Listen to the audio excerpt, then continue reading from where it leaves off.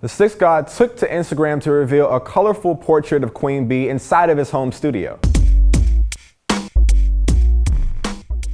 Drake was in the studio with friend and collaborator Baka Not Nice, and for all we know, they could have been recording some serious heat. But what Twitter was most concerned with was this huge picture of Queen Bey flashing her smile and illuminating the room. You already know Twitter had a ball with Drizzy's admiration for Beyonce. One Twitter user said, Drake has a painting of Beyonce in his condo slash studio.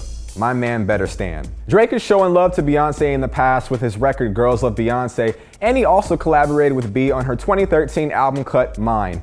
Sounds like anytime Drake even thinks of Beyonce, something fire comes out of it. Some may see this as an obsession, but Beyonce is a cultural icon. If anything, this is a healthy source of inspiration. What do you think about Drake's tribute to Beyonce? Let us know in the comments. For All Def Music News, I'm Justin Styles.